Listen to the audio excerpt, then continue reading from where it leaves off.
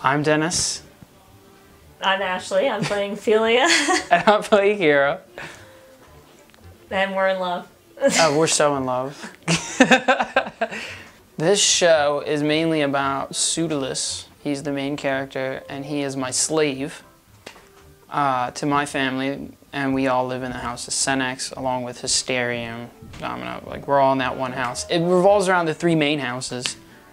I don't want to, like, sit there and quote the prologue, but uh, three houses, all alike. I would say to sum it up, it's about mistaken identity, people just doing what they want to get where they need to go or where they think they need to go. And it's just a ridiculous comedy. I think that it's loosely based around real life and then they throw in these insane characters and then they put it all in Greek time and it's it's just bizarre and hilarious and it's fun. No matter who you are, you would enjoy the show.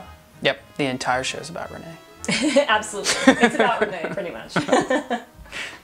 well, I will be wearing a blonde wig and a white toga style dress. So I will look I will look nothing like this. I'll be the one on the balcony with the starry-eyed look in the And- beginning. yeah. And a, and a head towel at one point. Yeah, the head, the head towel. Uh, He'll be the clueless one and I'll be the idiot. That's that's the easiest way to, to recognize us.